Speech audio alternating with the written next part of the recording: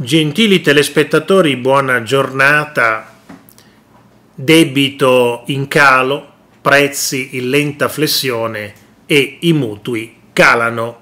Calano i mutui, c'è un'inversione di tendenza, si abbassano le rate dei mutui.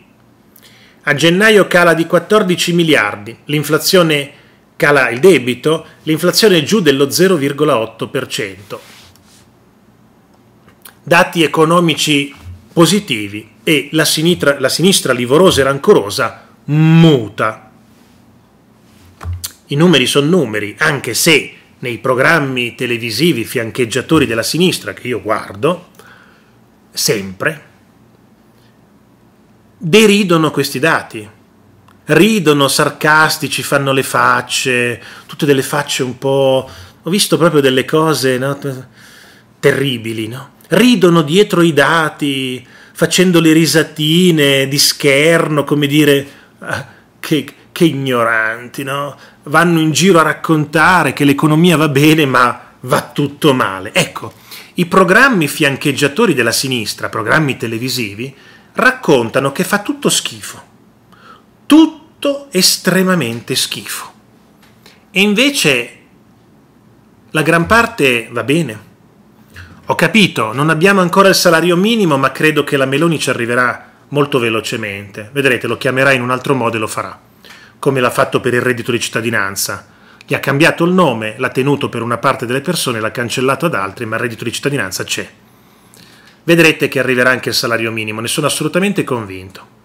Adesso sta sistemando l'immigrazione clandestina in modo incredibile, perché non so come cavolo abbia fatto o come stia facendo, però il risultato c'è. Adesso i dati economici sono, la gran parte sono positivi, molto positivi. C'è lo spread arrivato ieri a 116, poi è tornato su a 127, ma ha toccato 116. E lo spread, che è la differenza tra i titoli di Stato italiani e i bond tedeschi, è ai minimi da tre anni. Tre anni e stiamo pagando molti meno interessi sul debito, perché lo spread più è alto più paghiamo gli interessi. Gli interessi sono alla metà di quando c'era Draghi, la metà. Stiamo pagando metà degli interessi. E guardate che sono tanti, eh? Sono decine di miliardi, decine di miliardi. I dati macroeconomici italiani continuano a confermare che essere pessimisti è completamente la strada sbagliata. Certo, c'è in vigore il nuovo patto di stabilità che bisognerà tirar fuori un bel po' di soldi per il prossimo anno. Ma a gennaio il debito pubblico è stato pari a, insomma, ve lo dico, tenetevi forte, il debito pubblico è 2848,7 miliardi, 2848,7 miliardi, ma è sceso di 14,1 miliardi rispetto al mese precedente.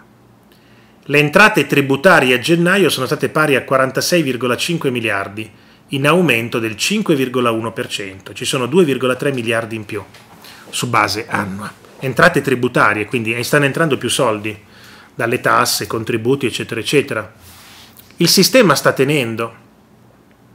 Questi primi dati del 2024, dei primi mesi, sono assolutamente incoraggianti. Poi su base annua le, le vendite al dettaglio sono aumentate dell'1% in valore, ma in volume sono diminuite del 2,1%, rileva l'Istat, quindi le cose costano di più e la gente ne compra di meno. Con questo dei dati economici positivi non vuol dire che non esistano più le famiglie in difficoltà, le persone povere, i disoccupati. Eh. Eh, perché io sono disoccupato, sì ho capito, ma eh, non è che se tu sei disoccupato vuol dire che l'Italia va male. Eh, tu domani puoi trovare un lavoro che ti pagano 10.000 euro al mese e dici l'Italia va benissimo. Quindi non è che guardando la singola persona si può dire se l'Italia va male o, o no. Eh. Uno dice, ma io ho perso il lavoro, quindi l'Italia non sta andando male. Tu hai perso il lavoro. Ma questo non, voglia, non vuol dire che l'Italia stia andando male. Ecco, quindi c'è sempre quello che perde il lavoro, c'è sempre quello che guadagna poco, c'è sempre quello che non arriva a fine mese, c'è sempre quello che non ha la casa di proprietà e paga l'affitto e non ce la fa arrivare a fine. Eh, se uno è in difficoltà non vuol dire che il paese non stia andando bene, a te sta andando male, ma il paese in generale sta migliorando i suoi dati economici.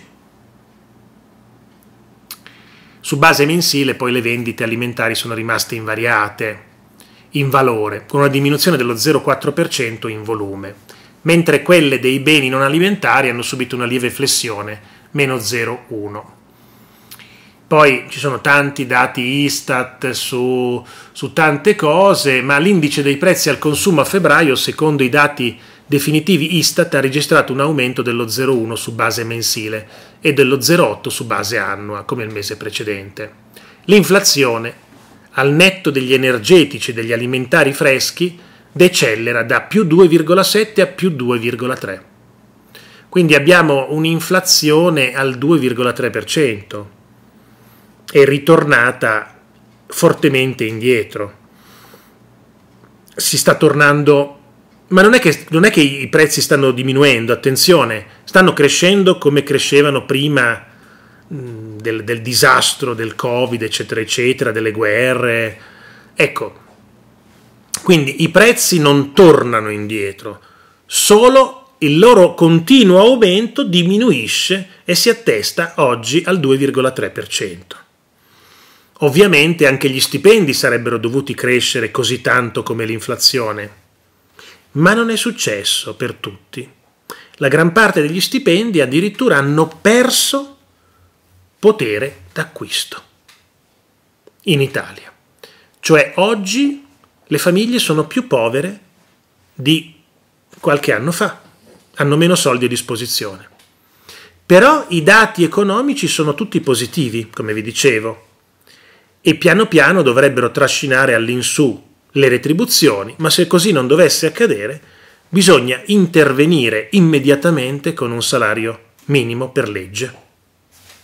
Si mette punto e a capo e ogni anno questo salario minimo deve essere rivisto con l'inflazione per tutti i lavori italiani. L'inflazione si chiude al 2,3%? Il salario minimo il prossimo anno deve salire del 2,3%. Si impenna l'inflazione al 10%? Il salario minimo deve crescere del 10% in maniera automatica per tutti, non come le pensioni che dopo una certa cifra cresci di meno, no, per tutti.